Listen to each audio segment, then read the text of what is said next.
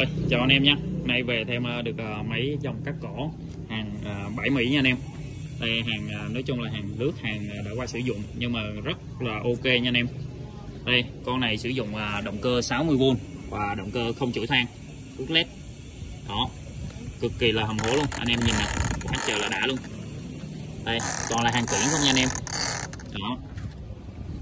Rồi tay cầm thì nó vẫn có đầy đủ nha anh em tay cầm tay cầm đầy đủ luôn. Nói chung là không thiếu gì hết. bây giờ mình sẽ test sơ cho anh em xem nè.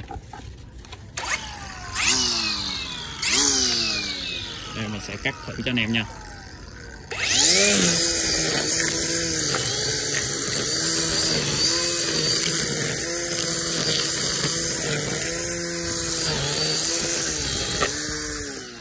Một tay nên hơi khó cắt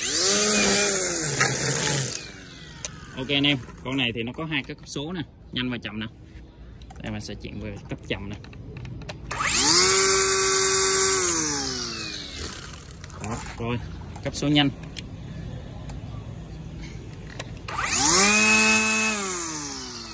Khá là khủng luôn.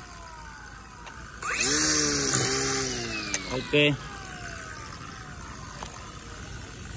Em nào uh, sử dụng pin 60V thì anh em cứ uh, việc uh, lấy pin 60V còn anh em nào mà chưa có pin thì anh em muốn uh, cả bộ luôn thì anh em liên hệ mình. À, pin sạc có đầy đủ nha anh em.